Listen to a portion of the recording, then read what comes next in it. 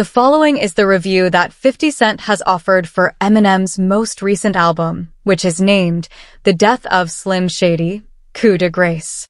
As a result of his participation in a promotional video for the album, the G-Unit mogul stated his enthusiasm for the album, which many individuals consider to be Em's most impressive work in more than a decade.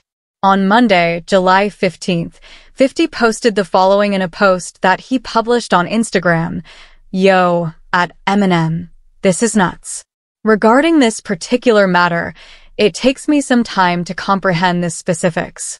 In addition, 50 people uploaded a chart that emphasized the fact that the death of Slim Shady had managed to accomplish 100 million streams in just two days.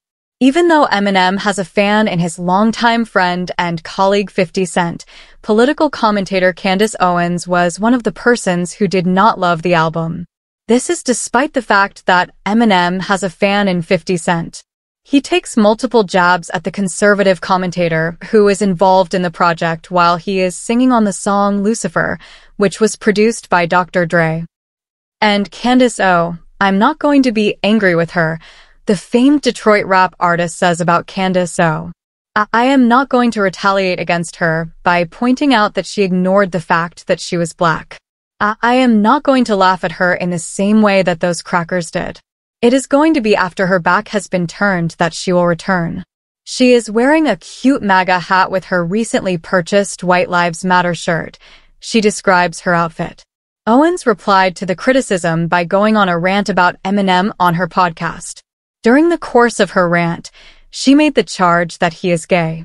Approximately eight minutes into the segment, Owens made the following statement. The first thing I want to say is that it is abundantly clear that Eminem is a gay man.